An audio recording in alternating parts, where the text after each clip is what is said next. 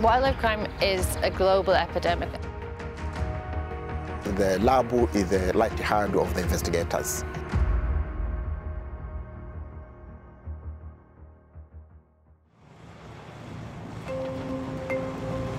with so many actors working to combat wildlife crime. It brings duplication of efforts and general inefficiencies. So that was really the reason for the establishment of ICCWC.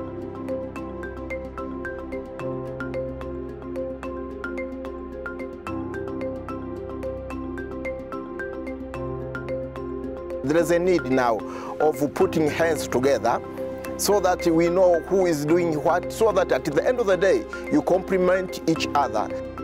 The challenges are that we are still facing low application of science.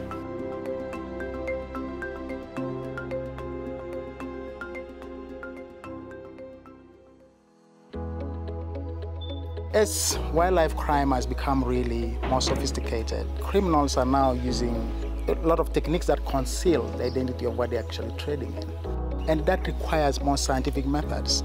The lab that is in Uganda is much benefiting to the law enforcement agents, specifically investigators.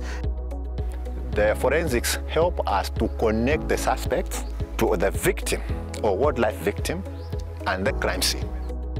Not only is the Uganda lab supporting investigations in Uganda, it's also supporting other labs um, in African countries.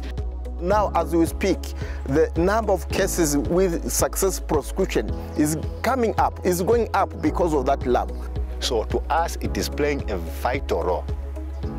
It is playing a vital role because it is helping us to apprehend suspects that could be smarter than ever before.